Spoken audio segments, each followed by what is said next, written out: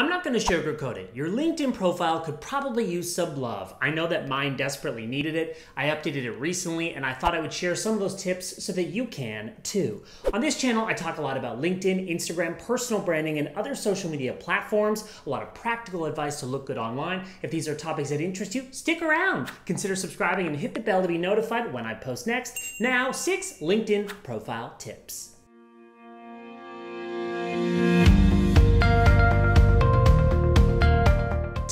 Cabo and the question comes from Vitor who asks, Phil, it's time to update your LinkedIn profile. When is that going to happen? Yes, Vitor, you have called me out. While I often find myself hanging around on platforms like Instagram, LinkedIn for me is a little less frequent, but it's an important place to be and it's an important profile to optimize. Vitor is a friend of mine and he is a LinkedIn expert who helps people improve their LinkedIn profiles. He has offered to help me today to bring my profile up to date, and I'm mentioning him in this video as a way of saying thank you, Vitor, for all of the help. I'll link to Vitor's LinkedIn below so that you can reach out to him if you also need some help. He is awesome. Now, boiling down to six profile tips, let's start with the first one.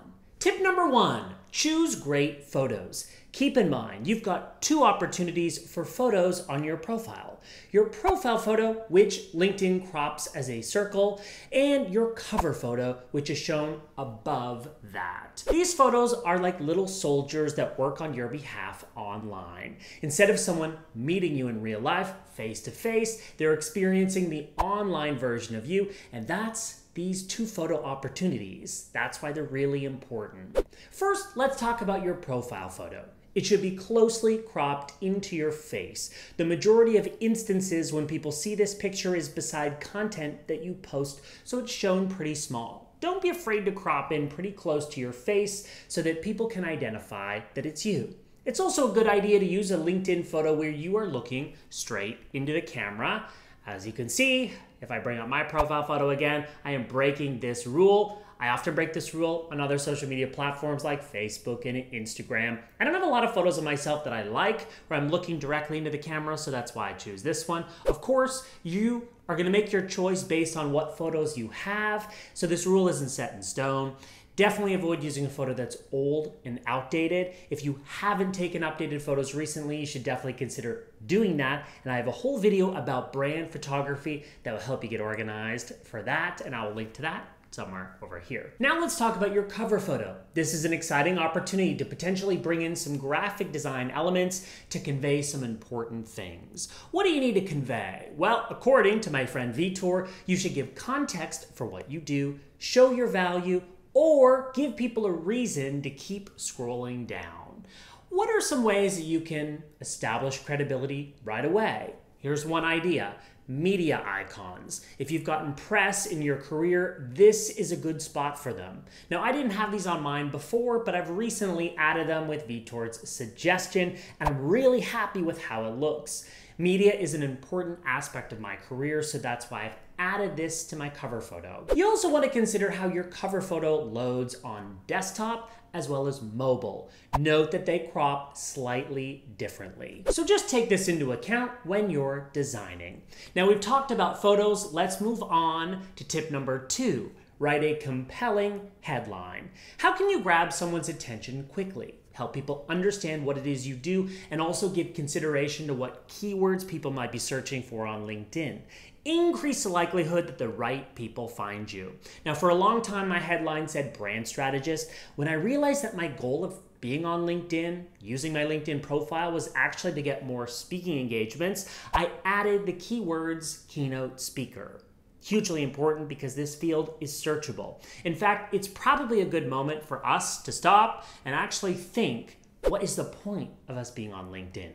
What's your goal? Is it to find a job? Is it to book clients? Is it to get more opportunities, speaking engagements? Be clear on that goal and use that goal to tweak your profile accordingly. Now, that's one of the most important things I'll say in this entire video, and it relates to your headline. So, be clear with your communication, have catchy words and keywords, and you should be good. So let's keep moving along to tip number three use visuals in your featured section. When we think about visual social media platforms, we think about platforms like Instagram. LinkedIn is probably not the first one that comes to mind. However, this is one of the rare opportunities on your profile where you can show visuals, images, PDFs, media, and hyperlinks to something like a video. Now, think about your work where there are visual opportunities to show instead of tell. For some people, this is going to be more obvious than others. For me as a brand strategist and as a speaker, it's going to make sense to show an example or two of me at work. And if you want to see what I did with my featured section, you should go over and add me on LinkedIn. Let's connect there. That's your featured section. Moving right along to tip number four create an amazing summary. Write a LinkedIn summary. And this is one of the toughest challenges, by the way, on your profile. How do you say it all in just a few sentences? I have good news for you. I have a whole video with my best tips and examples on how to do this, and I'm gonna link to that somewhere over here as I do. And I'll quickly summarize some takeaways. Write in first person, not third person. We know you're writing your own LinkedIn profile, so it just makes more sense to be direct, in my opinion. Two, describe your value in human terms. Avoid complicated or corporate jargon and tell me in simple words what value I get from connecting with you. Finally, make it easy for people to get in touch with you. This one is really important. Include your email address, but also describe the types of people that you'd like to receive messages from. If you can keep your summary as short as possible as well, it increases the likelihood that someone is going to read it from start to finish. Next tip, tip number five, incorporate incorporate storytelling into your experience. The section we all know about LinkedIn, which most resembles a resume, is the experience section, where you talk about the experience you have in your job or your industry. This section might seem like it's supposed to be boring and factual, but I disagree, and I am not the only one. Recently, I recorded an episode of my podcast, Brand Therapy, with my colleague and co host Lauren, who is also a copywriter for many of our client projects. Lauren believes that this is the best opportunity to inject creativity and storytelling to grab people's attention.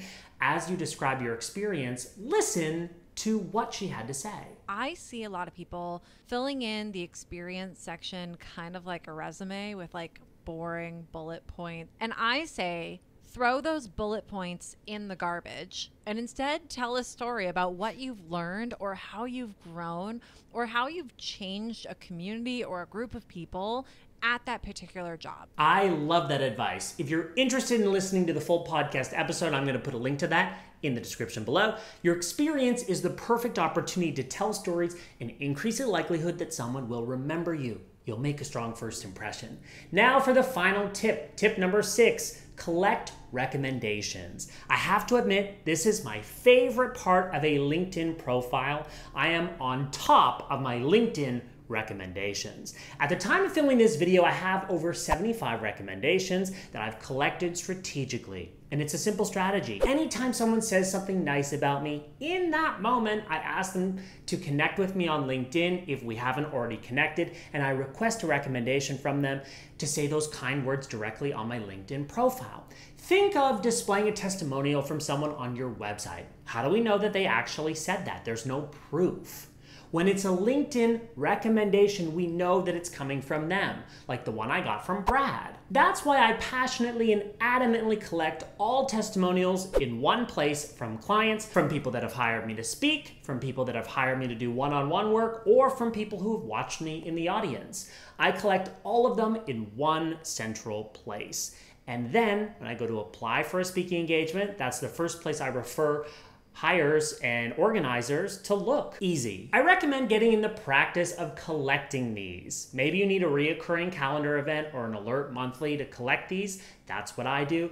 Or at the end of a project after delivering a speaking engagement, get in the rhythm of asking for these because I think they're going to be useful proofs of concept. Now, I know I've given you a lot of links and resources in the description below and throughout the video. I have one more for you, my free PDF, LinkedIn Tips for Beginners. This freebie is really helpful if you're updating your profile and looking to develop a strategy to improve your efforts on LinkedIn. That is linked below as well. Now I wanna hear from you. I've done all the talking. What's the thing that you're most excited to update on your LinkedIn profile? Let me know in the comments below.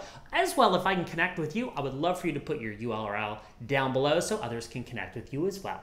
If you found this video helpful, I would appreciate a like and consider subscribing for more videos on social media, brand strategy, practical advice to looking good online. I've talked about a lot of tips in this video, and shout out to my friend Vitor who helped me. Next I'm actually going to do a walkthrough through my profile and point out sections as well as updating your custom vanity URL and so much more. I am linking to that video next. I'm Phil Pallen. Thanks for watching, and that tutorial is coming up next.